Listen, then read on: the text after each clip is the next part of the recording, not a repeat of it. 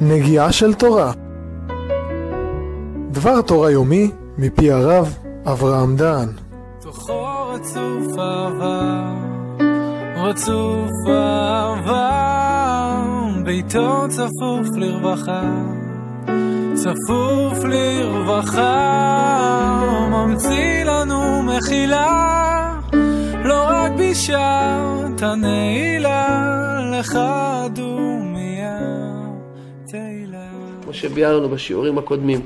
מי לנו גדול מאברהם אבינו? הוא ראה את לוט אחיין שלו עושה שטויות, מה הוא אמר לו? היפרד נא מעליי. איך שנפרדו, כתוב מיד, וידבר אדוני אל אברהם, אחרי היפרד לוט מאמו. אומר רש"י הקדוש, מלמדך, שכל זמן שלוט היה ליד אברהם, נסתלק הדיבור מאברהם. השם יתברך לא רצה לדבר עם אברהם כל זמן שלוט נמצא על ידו. על זה אמרו חז"ל, אוי לרשע ואוי לשכנו. לומדים את זה ממצורע. אם אדם מדבר לשון הרע, הקירות של הבית שלו משתנות, מקבלים סימנים של צרעת. מה צריך לעשות? לשבור את הקירות. לפעמים הקיר הזה הוא משותף עם השכן. השכן צועק, למה שוברים לי את הקיר? זה לא אצלי. אומרים לו, אוי לרשע ואוי לשכנו. אם אתה גר בסמוך לרשע, אתה מסתבך. שאם מפילים לו את הקיר, גם אתה תצטרך לשלם.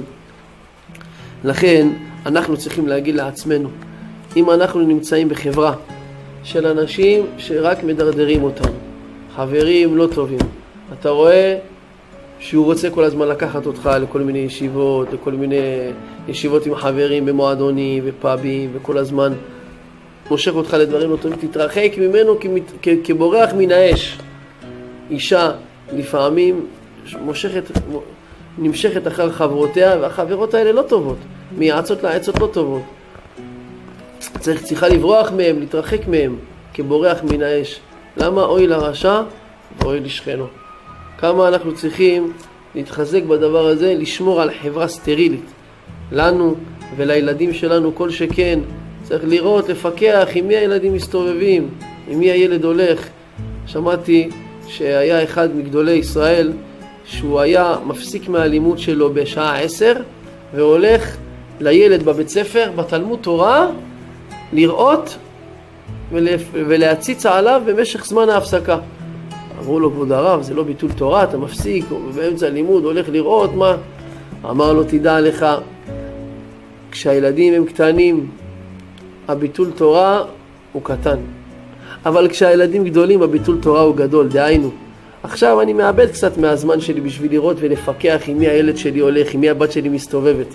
אבל אני ארוויח מזה שבעתיד יהיה לי ראש שקט, אני יודע שהילדים שלי בסדר. אבל אם אני אומר, שמע, אין לי זמן, או אנשים שעובדים, איפה יש להם זמן לפקח על הילדים, שולחים אותם למגרש, לגן שעשועים, לא יודעים מי הולכים, מי מסתובבים, נותנים להם יד חופשית, בסוף כשהם גדלים, הצרות נהיים קשות, אוי, כמה ביטול עבודה, כמה ביטול תורה, אני מכיר אנשים שימים שלמים וחודשים לא עובדים בשביל לרוץ אחרי הילדים שלהם.